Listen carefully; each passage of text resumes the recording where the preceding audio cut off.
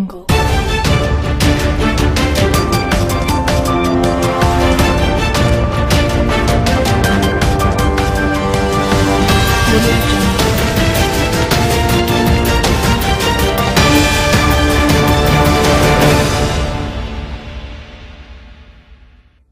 सिंगाजी ताप परियोजना में बॉयलर में काम कर रहे हैं। मजदूर 27 मीटर ऊंचाई से गिरा कारण नेट में आग लगना संत सिंगाजी ताप परियोजना में बुधवार दोपहर तीन बजे बजे के करीब आदर्श कंपनी में काम करने वाले श्रमिक भैया लाल देवड़ा जो कि दो दिन पूर्व ही नौकरी पर आया था और अकुशल होने के बावजूद भी उसे 27 मीटर ऊंचाई पर बॉयलर में नेट खोलने के काम से भेजा गया था। श्रमिक जब नेट खोल रहा था तब अचानक ही नेट में आग लग गई, जिसकी चपेट में आने से मजदूर 27 मीटर नीचे गिर गया। मजदूर को सिर में घातक चोटें आई हैं और स्थिति गंभीर बनी हुई है। कंपनी की लापरवाही से हो रहे हैं। ताप परियोजना में हादसे जिम्मेदार एल एन टी पावर और आदर्श कंपनी नहीं हो रही है। इन लोगों के खिलाफ कोई कार्रवाई।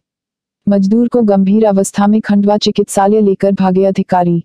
शाम तक मजदूर की स्थिति का खुलासा नहीं हो पाया। मामले को दबाने की हो रही है बात।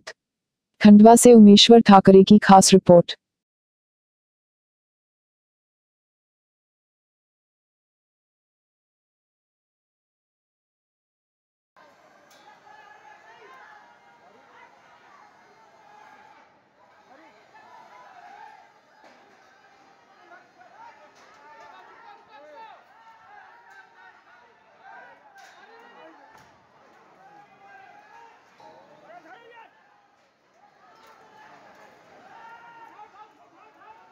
फॉर्मेशन लाइन पे लाइन पे